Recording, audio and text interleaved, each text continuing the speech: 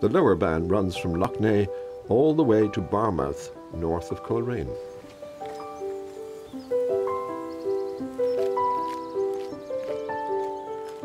Anna is walking the lower Bann. This section of trail runs alongside the river from Hutchinson's Quay all the way down to Portna Locks.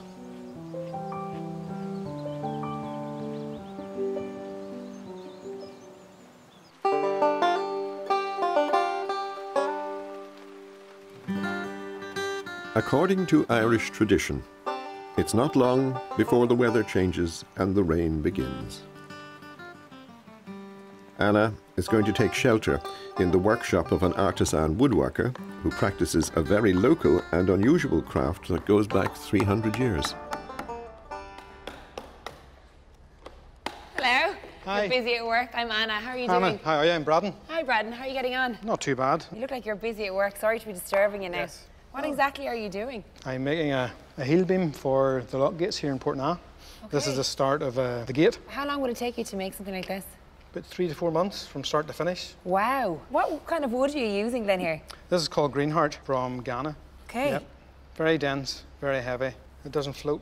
Wait, so that would sink in water now? Yeah, yeah. Incredible. It's, it's so heavy, not easily worked with. It can split any, any direction.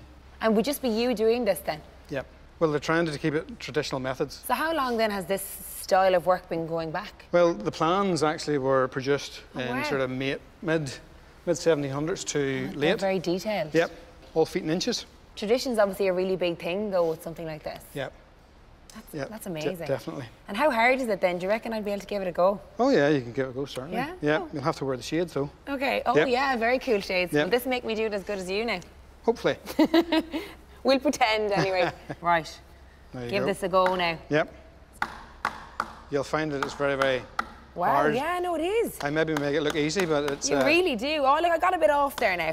Not going too badly. I can see why you need the glasses. Yep. There's bits of wood flying everywhere. So how long would it take you to do something like this now? Like in terms of, would you get tired? Because it's quite manual. Um, well, it, it's it's really interesting. You know, there's not many guys get to to build these sorts of things. There must be a tremendous sense of pride though that's involved in that, knowing that you, Well, you know, you helped create this. Yeah, it's it's nice to to know that I've left a little bit behind because like, I mean these things will last maybe 60 years, maybe long after I'm gone. Well, I don't think Yeah. I'm going to be giving up the day job anyway because I don't think I'd be that much of a help to you. So Well. maybe you might have to continue Yeah. it on for me. But Yeah, give no it a problem. try anyway. Yeah, no problem. Give me back your glasses.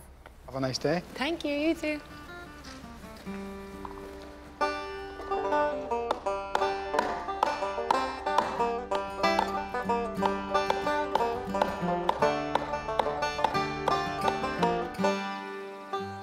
As Anna crosses a finished version of the lock gates Bradden is working on, Joe Gillespie, an engineer with Waterways Ireland, is waiting to tell her more about them. Hi, Hi, Joe. Anna. How are you? How are you? I actually saw one of these just being made a while ago. These are hardwood uh, lock gates, and we produce them in our stores here in Portna. And is the Made, one that I saw being made going to replace Yep, this one? these are going to be going in very shortly in here into Portna. And how old would this one be now? These would be maybe 25, 30 years. Wow, they last a long time. Well, they do, but uh, if, when they come very leaky, they need to be replaced. You could have structural failures and that sort of thing, so we fabricate them ourselves. So this section looks quite industrial. Is it still being used? This section is being used increasingly by the boating community up and down the river, Okay. and also people travel down it from Lough Neagh as well, out to the open sea. And we have loads of uh, canoeists coming through, Oh, and we're good. trying to develop more and more facilities for those canoes and for other people who walk or canoe along the river.